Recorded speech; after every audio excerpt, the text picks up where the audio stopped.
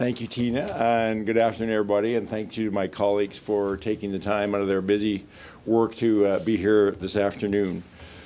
In an event uh, such as we're facing right now with the novel coronavirus, um, one of the key pieces in how we respond is getting good, accurate information to uh, to our citizens. So today is really about making sure Nova Scotians understand what uh, COVID-19 is, uh, how we're responding to it, and and and and what what they potentially uh, need to do about it now and and moving forward as folks are well aware, uh, late December, a, a, novel coronavirus was identified. We, there, coronaviruses aren't new, but this is a new strain of coronavirus that hasn't been seen before in, in China. And probably for the first six or eight weeks of that, it was really a, an event that was focused in China, and our response was staying very much in touch with uh, our national, international colleagues and understanding what was happening in China and how we respond uh, to people traveling to and from China.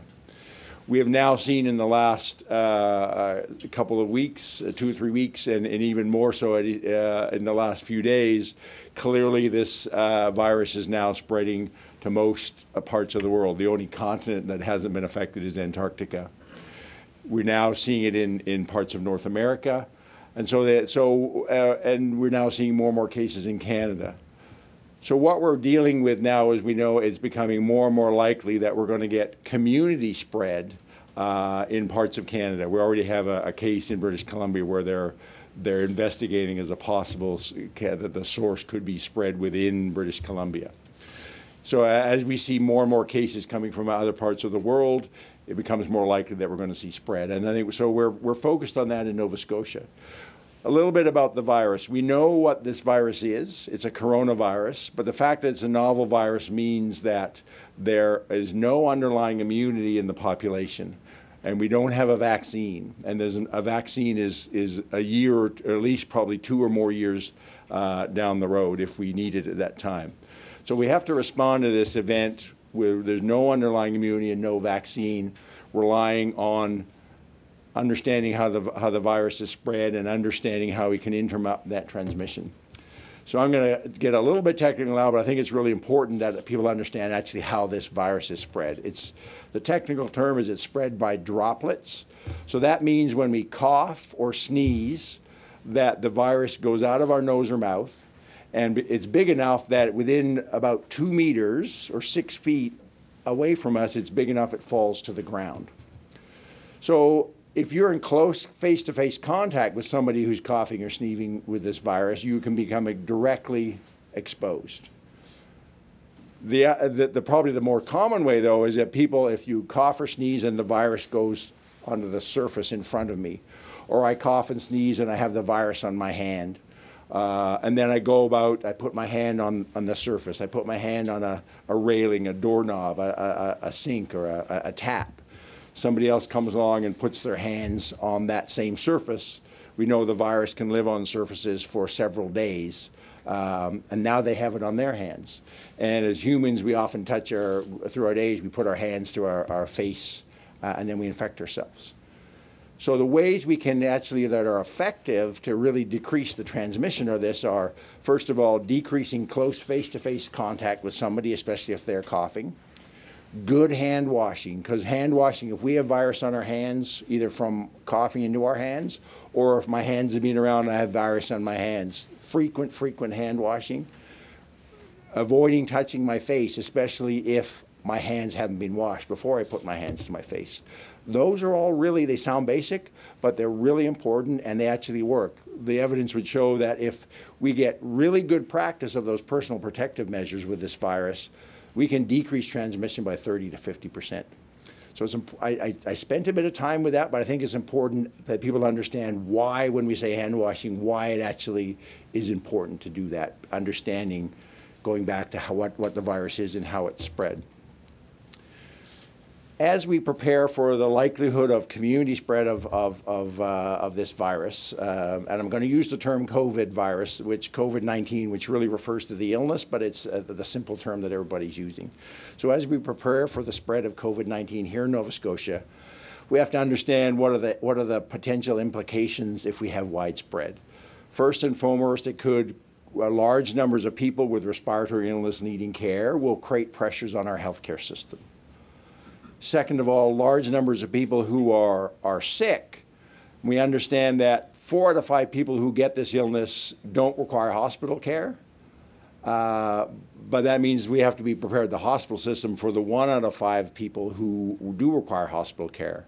And we know that the, the, the, the, people who are older, so seniors, especially seniors with chronic conditions, are those most vulnerable to getting severe illness from this disease. So our hospital systems need to prepare, our healthcare system needs to prepare for that. But we could also have lots and lots of people who are sick, or maybe there's somebody in their family sick. They don't need to health care, but they need to be at home to, uh, so they're not spreading it around, or they need to be at home to care for somebody else who's sick. That will create pressures across all sectors around maintaining core business of whatever that core business is in your sector with significantly reduced numbers of people. The third thing is that we need to, we may potentially need to do things that disrupt our society as the way it normally is. So we may have to turn to things like closing, shutting down mass gatherings, closing public facilities, those kind of things that ultimately may be necessary to protect people, especially to protect seniors, but cause disruption. So all those will be done, if we have to do them, done very thoughtfully and carefully, but those potentially would have implications. And the, the last thing we have to be aware of is it, all these things can create a lot of public fear and anxiety, which in itself can become an issue. So how do we manage that? So all our planning is based on trying to minimize and mitigate all in, in those four uh, key areas. Our response to date has been based around travelers coming in to Canada and coming into Nova Scotia, making sure we have strong border measures at our international airports, identifying people with travel history and, and potential symptoms, and also putting systems in place in uh, what I call the access points to our healthcare system. So, in every province and territory is doing this. So, 811, 911, primary care, emergency departments all have been using screening tools that all been based on people who have the right travel to the right area and having symptoms that could be respiratory disease, and then testing those individuals. And we have been doing that for several weeks. That that the screening we've used has has shifted as the epidemiology shifts, and will continue to change our approach uh, around travelers as the epidemiology and the global spread continues. So what we're doing today may well change in the coming days uh, and weeks ahead. Our and, and our, our testing has been based on people with the, the, the travel and, and the symptoms.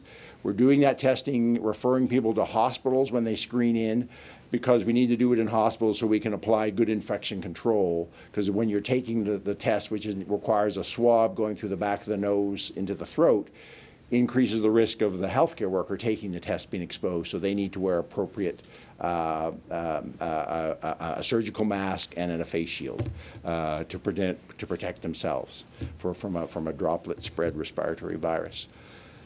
So far to date, we've had Nova Scotia, 23 people uh, have had, had test, tested in Nova Scotia. All of them have been negative. We do not have any cases of coronavirus here in Nova Scotia at this time. I think I stress that because there's been rumors out there which create a lot of would create a lot of challenges, add to fear and anxiety. So we really need to appeal to people to use their social media very responsibly around uh, this issue. Um, and so we've been working with our healthcare systems to make sure we have access to testing through emergency departments. And, and at the same time, our healthcare system is doing the work based on what we developed for H1N1 and the experience we developed for that, as well as what we did for things like Ebola. We have a lot, so we have a lot to build on. How do we start to stand our healthcare system up uh, to deal with large numbers of people with respiratory illness? uh, and, and at the same time maintaining as best as we can uh, being able to meet the other healthcare needs of, of, Nova Scotians. So we're very much in the process of, as we respond, build the, the, the, the, the approach, appropriate screening and testing uh, and caring for people if they did have COVID-19, starting to build the, the uh, plans of how we would adjust in the healthcare system. We've also started now to work uh, across government because of the implications I talked about earlier. This becomes not just a health system event. We need all government departments, and we're working now to engage across government in this. And then through our colleagues in the Emergency Measures Office, starting to engage in uh, other non healthcare sectors. So we have started to engage in conversations, for instance, with our, our critical infrastructure partners. Uh, I'll use Nova Scotia Power as an example of that. How do they maintain their core business through a business continuity plan? Exactly the conversations we worked with them 11 years ago around H1N1. We're working in government around the business continuity of continuing government programs and services, and then also reaching out, starting conversations with our municipal emergency management folks and how what role do they play at, at the municipal level. So this is becoming a bigger event as we stand up a response now shifting to an all of government cross-sectoral approach as we do this work. So what, Nova, what can Nova Scotians do about this right now?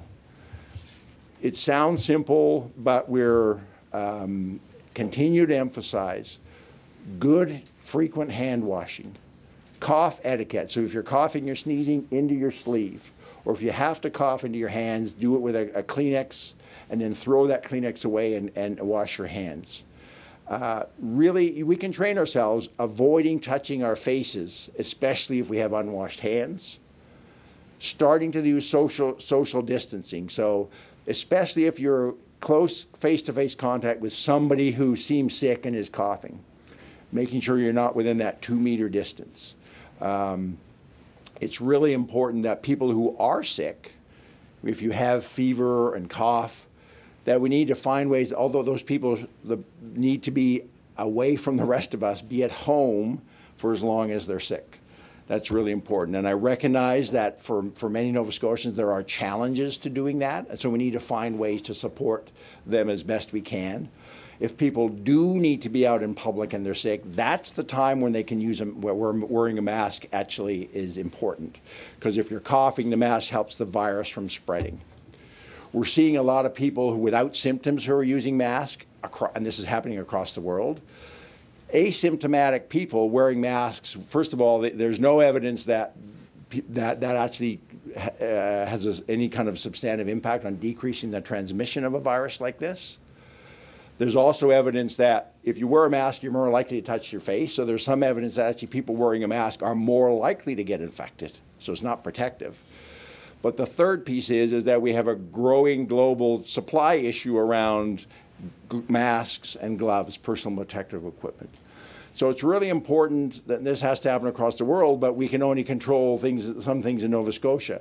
It's really important that Nova Scotians, and, and including in our healthcare system, that we use masks only when they're necessary, and that we use the right type of mask which is for this type, and there's specific masks based on good evidence for this type of virus. Because inappropriate or unnecessary use of masks could actually exacerbating this, this shortage, and we may end up not having the right type of mask or enough of the right type of mask when we really need it when we actually get this illness here. So appropriate use of masks is, is a really important message for the public the last thing I think the public can do is we, we need to start. So lots of people are going to be homesick. How do we do a better job of looking after each other within families, within communities? Especially those who are most vulnerable. So you, it's, it's the seniors, seniors with chronic conditions who are most vulnerable for se severe disease. So if we start to get community spread of COVID-19, my challenge to vote, who do we know in our communities that is vulnerable that we can actually support? even before they get sick. Maybe I have a neighbor who actually, uh, who the best thing I could do is to make sure she has groceries so she doesn't have to go out to shop, shop for groceries herself. She can actually stay home when we have community, community transmission so she's least, least likely to get infected. So it's a call for, for us as Nova Scotians to come together to really uh, say that this is much bigger than just the health system. We're doing our work in the health system, but all of us have a role to play in this starting at community level. How do we support each other to, to be well? And if we are sick, how do we support each other to, uh, if, if you don't need to be in the hospital, how do you help get the support you need when you're home until you recover? with that, we're going to open up for questions and more detailed questions from my colleagues in the health system. Thank you. I, I understand you said there have been no cases, and uh, you want people to be aware. Um, well, What is the likelihood that we will likely see some kind of an outbreak in the population in Nova Scotia? So I, I can't put a number on that, but I think as the days go on, I think we're seeing now it's it's quite probable that we are going to see some kind of community spread within Nova Scotia, uh, and it's it's it's quite probable that we're going to get a case. How much that case turns into a spread is somewhat dependent on what we do as soon as so it depends on how quickly do we know about that case. So that's why we have to have the systems in place to to get people uh, to come in for testing. And then what measures we put around them in terms of whether it's keeping people isolated at home quarantining their contacts all those kind of pieces. But also the things i talked about is our collectively our hand washing and all those kind of things I talked about, that's important, going to be important to control the spread as well. So we're likely to get it here. How much it spreads is some. It depends on the virus itself, but also is somewhat dependent on, on how quickly we're able to intervene and how well we collectively adhere adhere to what I call the public health measure, measures that'll be necessary. Dr. Strang, you mentioned the importance of uh, getting accurate information to people, and we've seen in the past week uh, all kinds of unsubstantiated rumors being shared online. If and when there is a confirmed case in the province, what is the protocol for notifying the public, and how long after a case is confirmed would you notify the public? So we have a system in place. So our, right now, the, the, the, the, specimens we take are tested initially in our lab, and, and Jason, feel free to jump in here. They are then sent to the national lab in Winnipeg. Uh, if that tested positive, the lab is going to phone Jason or his colleague, Dr. Hatchette, who can't be who can't be here today. The first call that they're going to make is to me the first call that I'm going to make is within my, my colleagues in the department. And we already have a plan in place about what the event, the press event would look like, how we would rapidly roll out the communication to Nova Scotians when we have uh, a confirmation of a case. But suffice it to say, unless the public hears it from you, there aren't confirmed cases. If there's a confirmed case, the word is coming from you. It's not coming from anybody else. Absolutely. Thank you for asking that question. You, you talked about supply availability, and I don't know, Ms. McCormick, if this is a question for you or not, but could one of you speak about the current level of supply availability as it relates to frontline healthcare workers? Do we have enough equipment, masks, gowns, all of that jazz, for nurses and docs and other people who are working in hospitals and seeing patients? Uh, thank you for the question. So within our planning process so far, we've done a very close look at what supplies we currently have, what we think we will need based on the best evidence around the PPE requirements. And we looked at both our operational needs day to day, what we use on a regular basis, and what we would need in reserve uh, to be ready to be able to scale up our response. Right now, um, we have no critical shortages around the supplies. We actively monitor that on a daily basis on all of the products. Um, and we continue to plan and, and work on making sure that there are no supply interruptions. Although we know there are challenges um, nationally and, and internationally around supply, we feel comfortable right now with the supply that we have based on what we think we'll face with the numbers. And we've been working with all of our partners in the health system to be ready to that uh, effect as well. What about testing? Do we have something, we we hear a lot, at least in the American media, about test kits. Is that, do we have anything similar to that here, and do we have enough of them if we do have them? Yes, uh, I mean, uh, every uh, uh, person under investigation gets tested with a, a, a method that is in Halifax, uh, but uh, to ensure that the, the results that are coming out of there are accurate, we've been sending them to the National Microbiology Lab in parallel. So regardless of the result that we have in, in Halifax right now, both positive and negative results, uh, we would be shipping to the National Microbiology Lab, but that's just to make sure that we're comfortable with our method. And once that method is validated, we'll be able to, to release negative results, but for the positive results, we would still uh, send them to the National Microbiology Lab for confirmation. Uh, How long, have you had any positive results in the Halifax test? No, we have not. And can you speak towards just the stages that it goes through? Someone comes in and they think that they might be uh, sick with this. What, what's the timeline? What does it look like? What do, what do people expect if they are coming to the hospital? So it's normally a fairly short timeline from the collection to the transport to the lab. From the lab, uh, we uh, even before the, the sample is collected, we get notified uh, from public health of a, a suspect case. So uh, once that the specimen comes into our lab, uh, we collate all the information that we've received. Uh, we run uh, daily assays to, for our in-house method. But during that stage of time, we're al- there's also uh, uh, uh, somebody packaging up and sending to the National Microbiology Lab. So once it, ar- it arrives to the National Microbiology Lab, so within 24 hours, we normally have the result.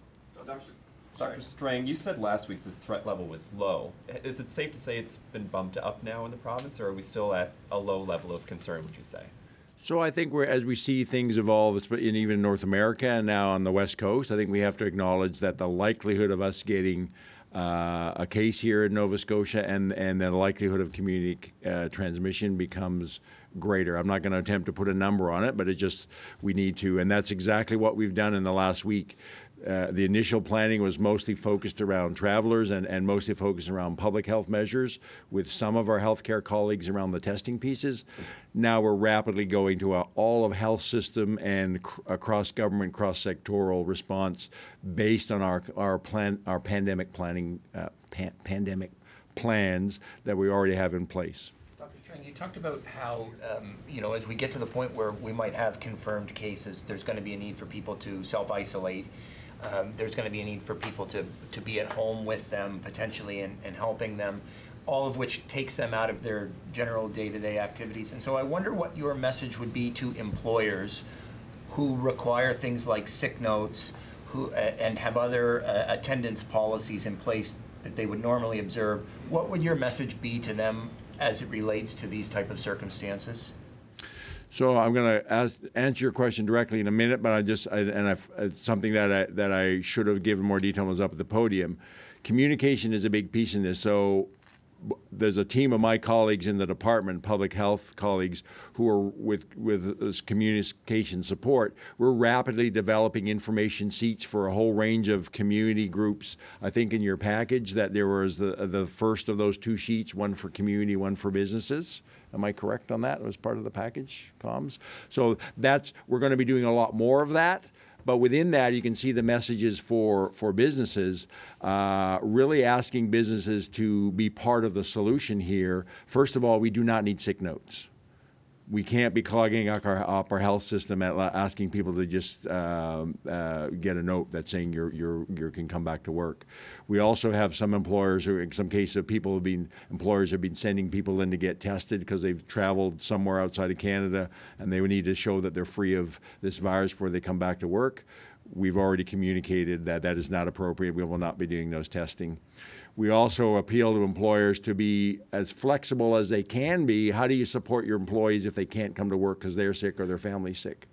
We all need to work together to try to be, be involved in in in in, in uh, the, our response to this, creating conditions that we can all be involved in minimizing the chance of this spreading. As you know, at end of this month, we are to host a major international event, uh, the Women World's Hockey Championships. Have you been in touch with Hockey Canada or the IIHF uh, about uh, protocols, that kind of thing? And will, will anything special be done for this event, given that it's a, many, many people coming from many areas of the world? Yeah, there certainly have been uh, has been discussion between the Nova Scotia government and Hockey Canada, and I've contributed my, uh, the, the into those conversations. Uh, that decision rests with uh, with Hockey Canada, I, I, double IHF. You'd have to you know talk with them as they consider uh, the conversations they've had with us in Nova Scotia. I just wonder, since you're having people coming here, is there anything you're doing to prepare for that event in particular? Or is it going to just roll into what's being done in generally? I, I, from that specific event, I think it's fair to say we're still we provided a perspective to the hockey folks, and, and, and they're they're taking that as part of their uh, I guess thinking and decision making as as they move forward. We'll take one more question before we go to the phones. Dr. Comeau, how does this illness affect kids? And are, are they, uh, Dr. Strang had mentioned that the elderly are perhaps most susceptible to it, but where do kids fall in the susceptibility scale with this? So to date, there's um, literature that's come mainly out of China because they've had the most experience with the virus thus far that suggests that children actually aren't hit um, particularly hard at all. Um, the percent children affected is much, much, much lower, and also the severity um, for children who are affected is lower. So there, in the most recent literature, there were um, 72,000 cases that uh, were looked at in a case series, and of children under nine, there were no deaths. Um, there haven't been any children um, in that age range that needed um, intensive care admission either. So we're working in partnership with NSHA and Public Health to ensure that the IWK is prepared both for children and for our, our women, um, but knowing that the severity in children doesn't seem to be what it is in the elderly. We'll go to the phone lines now. For those of you on the phone, please identify who your question is for. We will take three questions from the phones. Uh, Dr. Strang, it's uh, Jennifer Henderson, uh, freelance journalist for the Halifax Examiner. You mentioned that you had offered a perspective to Hockey Canada and the IIHF with respect to the upcoming World Championship. Is it your recommendation at this time that the event should not proceed? So I think it's I think that that perspective is a, is a dialogue between uh, the Nova Scotia government and and and the hockey officials, and, and we're looking forward to uh, hearing from them in time. I ask a follow up with respect to that? There there will be something like 350 to 400 athletes, managers, coaches arriving from 10 countries. Will will those individuals be tested or screened for COVID 19 when they arrive in Nova Scotia? So we, we, we have not made specific plans around the tournament because things can change very rapidly over that that, that tournament is, is at least a few weeks away. We have provided, provided, as I said, a perspective around from a Nova Scotia perspective. It's not just a health perspective. There's multiple perspectives. That dialogue has happened with the hockey officials, and and we'll we'll work with them as they make a decision. Thank you, Jennifer. We'll go to someone else. Does anyone else on the phone have a question for one of our panelists?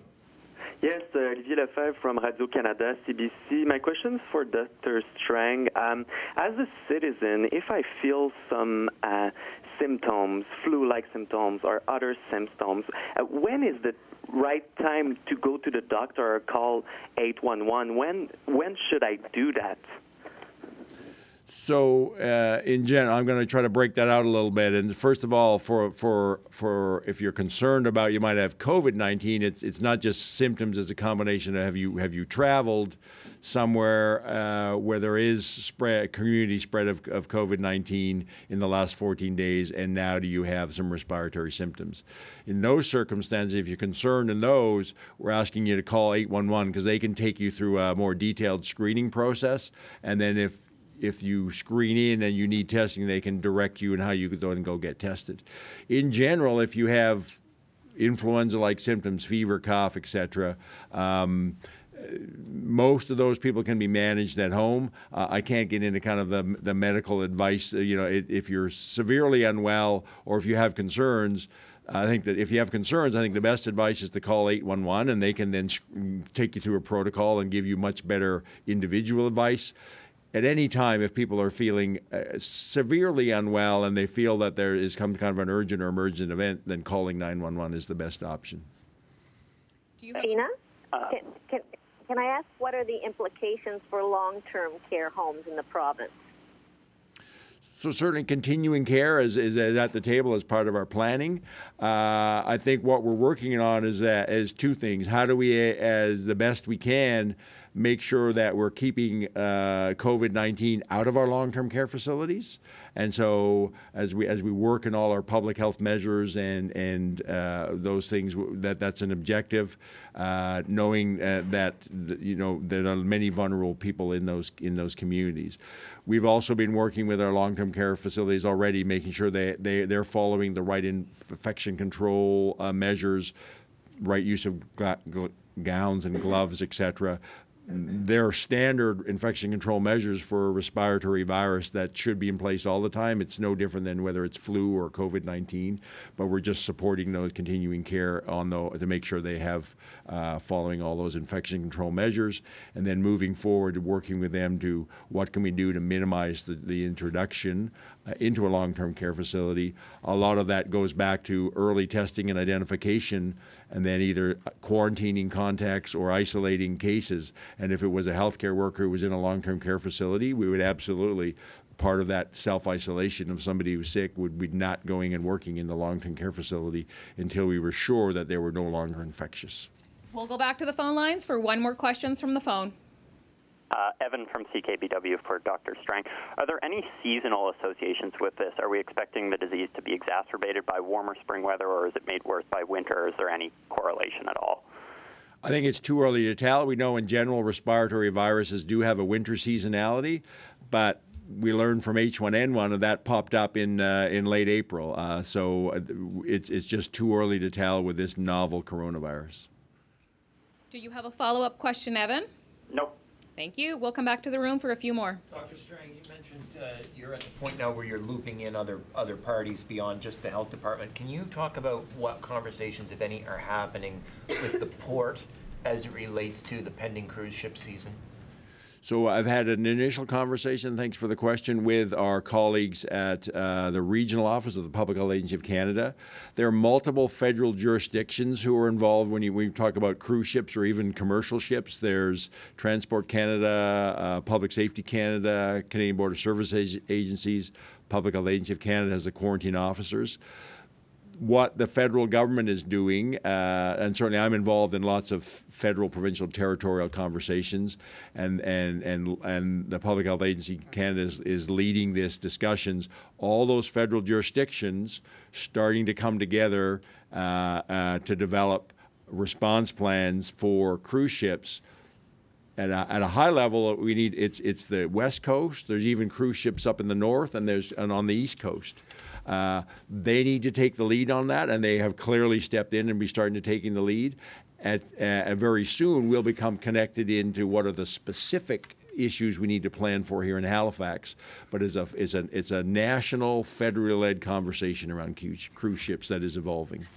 Dr. Strang, Dr. Strang. Your website has been updated that deals with coronavirus, I saw, and it has a lot more information now, saying that people should also be prepared for 72 hours isolation. Um, we're also seeing a lot of people going out buying three years supply worth of toilet paper. Is there need for this kind of not mass hysteria, but do people really need to be doing this kind of stuff? Well, the, the 72 hours that's a standard emergency man, uh, um, kind of preparedness measure that we should all be prepared all the time for to be able to for for three days to kind of be on our own in our homes with our families. I would ask people now. There's, you know, we don't need to go out and panic and be this mass stockpiling of toilet paper, etc. Uh, we do need to be prepared. That take some reasonable steps. That you may be at home for a bit of time. So things like we're asking people, make sure that you have a good supply of your prescription medications. And if you're running low in the next few weeks, it's a good time to get a, a renewal because if you wait a couple more weeks, and maybe that our health system has a lot more pressures on it, and and so simple steps like that, uh, making sure you have, you know, a lot of people saying, you know, a, a, little bit of extra food stockpiled and those kind of things, but I guess reasonable approaches without mass hoarding and stuff, because um, that just feeds into the fear and anxiety. We have about 10 minutes left. Go ahead, Ben. Dr. Strang, you've talked about limiting mass gatherings in the event of an outbreak. It's fair to say that a hockey game would count, but have you guys actually defined what a mass gathering is? Would it include a restaurant or a church even? So we're, we're involved in, uh, I have twice weekly calls with my chief MOH colleagues across the country, and we're actually working through the details of this because it's really important that uh, you know, there is a, not a standard definition of a mass gathering, but you know, when lots of people come together. So, but we need to be more refined on that definition, and also making sure that the thinking that we would go through, and the, the things that we need to consider to make a decision as a public health official whether we do or do not close down ga- mass gatherings and what type we might close down we need to make sure that we're doing that and from on a consistent basis. So it may be that next week, and I'm just speaking theoretically here, that they need to make that decision in British Columbia. It may not be for another two months before I need to make that decision in Nova Scotia, but we need to make consistency is really important that we're making the decisions in the same way with the weighing up the same factors. Uh, and, and we're always, all these decisions are always going to be based on how affect, what's going to be the impact of an intervention to limit the spread of disease knowing that every time we make a decision like this, there are impacts in society. So closing down mass gatherings has lots of impacts. So we're always going to be trying to find the best balance of what's necessary for the disease uh, and especially with a focus on how do we protect those most vulnerable seniors, but also knowing that there are going to be impacts that uh, that that are that uh, that ripple out as well, and, and how do we how do we weigh those up as well? So doing that in a consistent, thoughtful way across the country as we make these decisions is important. So that's a lot of our discussions we have on all of my teleconferences with my colleagues across the country. A lot of other provinces are reporting presumptive cases. Um, why are we not doing so, oh yeah, go ahead. No, you go ahead. So it, it's actually a lab issue. Uh, so it, it's the same concept that I was talking about. That we have a, a, method that we're validating in Nova Scotia, but until that we're comfortable with this method, we're not. We we we can't release the results per se. Positive or negative would go to the, the National Microbiology Lab uh, until the assay is validated. Uh, but uh, once we have that assay validated, we would be releasing the negative results, and a presumptive, uh, we would release a presumptive positive, but send it off to the National Microbiology Lab for confirmation. Is there any risk right now that uh, the National Biology Lab in Winnipeg will get overwhelmed um, trying to confirm cases as cases grow across Canada? Like, could that 48-hour window take longer? Uh, I mean, uh, it, it's a tough question to ask because I mean uh, they're they're constantly reassessing their needs. But one of the, the strategies that they've taken is uh, they've been working with the provinces to to disseminate protocols and so that the the provincial public health labs can deal uh, with uh, the testing on their own and develop plans on their own. So there is planning that occurs. Um, Dr. Strang, regarding you were talking about the hospitals needing to be ready about it. Um, so while a lot of hospitals are, are overflown right now, what is being done for them to be ready to have the one person in five? So I can uh, share a little bit of the Nova Scotia Health Authority perspective. So we recognize that an event such as COVID-19 will be uh, an important uh, piece of our planning around patient flow and capacity in our hospitals. And so we are actively planning with many partners around that, and it is a big priority for us. Um, we're strengthening our ability to respond by thinking about um, areas or services within our uh, system that we may need to slow down, pause, or stop if we needed to redirect our efforts to managing uh, patients with COVID 19, as an example. We also continue to focus on um, opportunities to really maximize other care environments for patients outside of the hospital um, if they could receive care in another way, and we do that with all of our partners. And so it's a it's an area of planning that we have ongoing efforts around, and we know that while it will be a challenge, it's one that we we are working to uh, find active solutions to that. Have you been looking for additional space in the in the event that your hospitals get swamped and you have to put place people elsewhere? So I think the, the first route is really around continuity planning. So we would look within our own uh, environment first to see what services or service areas we may be able to redirect into a different uh, purpose. So how could we repurpose, uh, for example, a clinic to provide ongoing uh, inpatient care in an environment if we were faced with that. We've also looked at our critical care capacity as an example to see if we needed to create more capacity for critical care patients, how we would do that. We had that same plan uh, active during H1N1 should we have needed to activate that. So we've taken all of those factors into account and begun to uh, plan around that. And, and we have uh, at times been faced with that before. You know, if we have an area of our building that uh, becomes unusable due to construction or, or another incident, um, you know, uh, we have to close down a, a section for renovation, what have you we always take into account how we could offer the service in another way uh, within our facilities or what we might need to slow down or change what we do to make capacity for more critical service. Uh, coming back to the uh, hockey tournament and mass uh, gathering, so you're saying right now for the tournament it's Hockey Canada's responsibility to decide what's going to happen, but at what point will it switch and it will be your decision that uh, these types of gatherings should be uh, cancelled or at least controlled? I mean, that's a specific one. It's Hockey Canada and IIHF working together. So um, there are things authorities I could use under the pub, under the Health Protection Act that, but uh, we'd, we'd like to, if we get to that point, I think we'd be like looking to work as collaboratively as we could with if there's a specific event with the organizers or if it's in general, say we need to do something uh, uh, around uh, around schools or whatever, we're going to work collaboratively with whoever sector with it, which with that sector there is to try to come up with with uh, solutions and and that we can all uh, be supportive of. Uh, but ultimately, I do have authorities uh, with the direction from the Minister of Health un- as under the Health Protection Act that we can actually order order pieces. But that's kind of like a last resort. We'd like to work collaboratively uh, and and with in a cooperative manner as much as we can. We'll take two more questions.